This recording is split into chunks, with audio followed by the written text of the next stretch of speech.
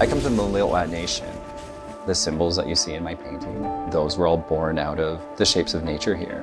As an Indigenous person, you're almost born with this spiritual connection to the land. There's a creek that runs down the middle of Whistler Blackcomb, and my great grandfather had a trap line on that creek. My great uncles grew up playing by Alta Lake, but Indian reserves were created and they were relocated.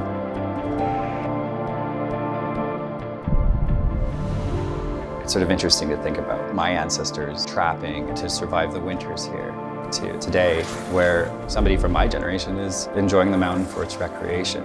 It's such a privilege to soak up all of this majesty that the mountains have to offer.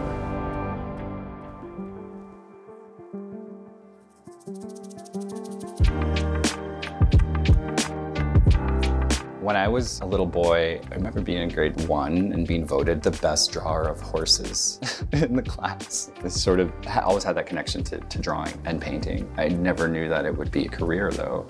I threw together a portfolio of my work and then I applied to art school. There's something about going away from the Indian Reserve and achieving these dreams it's like I'm not really achieving them myself, but my entire community is achieving it because I had. My aunt talks about our indigenous language as the shattered mirror that has broken into a million pieces that needs to be put back together. I thought about that during my Slice series. I'm putting back together this idea of an identity that has been interrupted. Indigenous art, even before contact, has always evolved. It's all about being contemporary and using the materials to my advantage.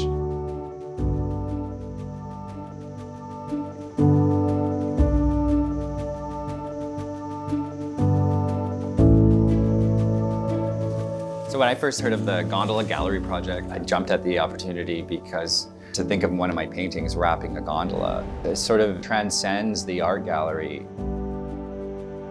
To have the aesthetics of indigenous art emblazoned across the peak-to-peak -peak gondola, it's representational of the people who grew up here, who share the land in this place, which decades ago tried to sort of hide my people.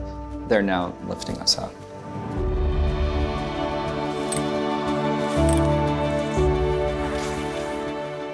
I'm Levi Nelson. I'm a painter and a contemporary indigenous artist. And I'm hoping that through my work, people are able to see there's a rich indigenous community thriving here.